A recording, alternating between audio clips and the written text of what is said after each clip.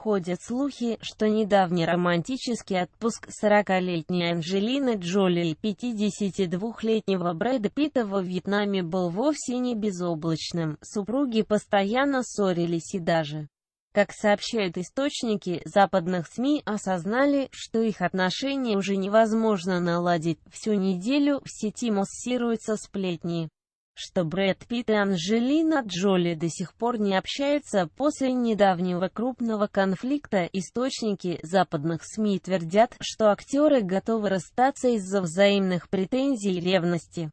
А на днях выяснилось, что попытка Брэда спасти брак, увезя возлюбленную в романтический отпуск тет-а-тет во Вьетнам, провалилась. Супруги постоянно ссорились. В пылу гнева Энжи заявила, что Брэд уже не тот человек, за которого она выходила замуж, он старый, обрюзгший, больше ей не нужен. В ответ актер сказал, что потратил на этот отпуск миллион долларов и потребовал у жены вернуть деньги, поскольку она все испортила своим поведением, рассказал инсайдер в интервью американскому порталу Radar Online, напомним.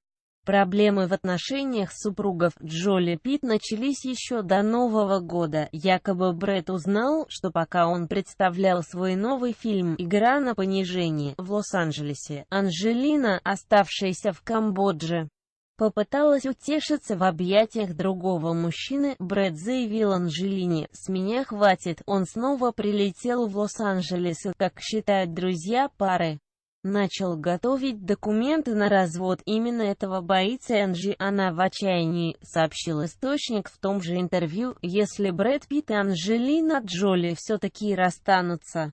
Их ожидает по-настоящему громкий развод. Общее финансовое состояние супругов оценивается в 480 миллионов долларов США, хотя влюбленные подписали брачный контракт перед свадьбой, их приятели уверены, что звезды будут яростно бороться за каждый цент, поскольку и у Пита, и у Джоли за все время их отношений накопилась масса взаимных претензий.